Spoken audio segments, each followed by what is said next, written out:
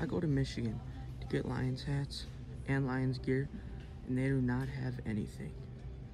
What a disappointment.